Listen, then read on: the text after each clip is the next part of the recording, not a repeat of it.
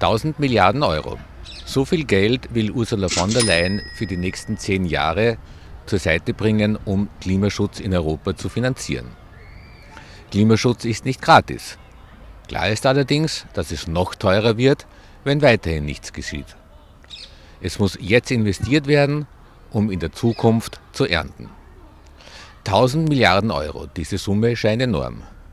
Wir haben nachgesehen. 2800 Milliarden Euro, also fast dreimal so viel, werden die Staaten Europas in den nächsten zehn Jahren für Rüstung ausgeben, gerechnet auf den Ausgaben im Jahr 2016. 1900 Milliarden Euro, also fast das Doppelte, haben 33 weltweit führende Banken allein in den vergangenen vier Jahren in die Finanzierung des Sektors von Kohle, Öl und Gas gesteckt.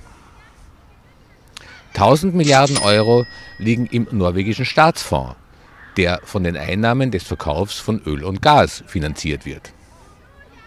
1000 Milliarden Euro hat Deutschland allein im Jahr 2017 für Soziales ausgegeben.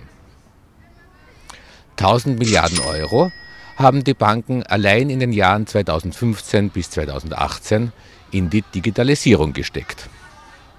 Allerdings, wenn Sie 1000 Milliarden Euro hätten und jeden Tag 1000 Euro ausgeben, wären Sie erst in 2740 Jahren pleite.